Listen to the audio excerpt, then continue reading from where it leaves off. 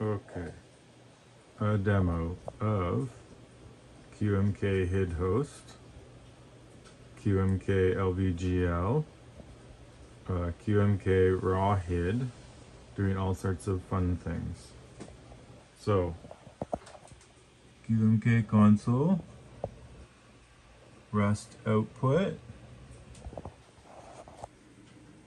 This button will change this screen will change. So let us change to VS Code.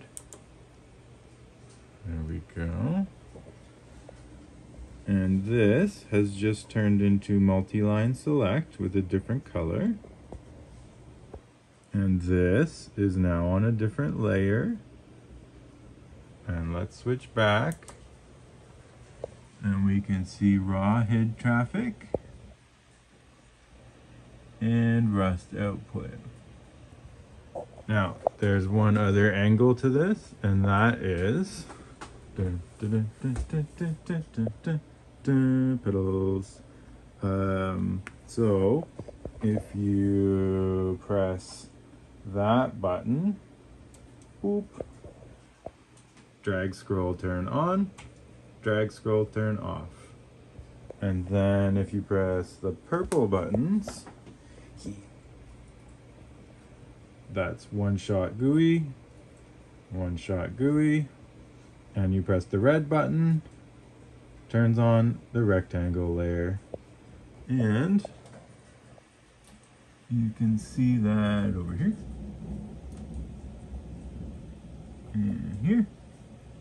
And here super duper. Now, one last little bit, and that is the LED ring around the monitor has two purposes. One is to be gaudy and ridiculous, and the other is this. And that is pedal layer indication. Doot, doot, doot. And all I'm doing is toggling the pedal layers on and off, which evidently are all mismatched because I haven't flashed that side yet. But look at that side. Whee! Red, red, orange, orange,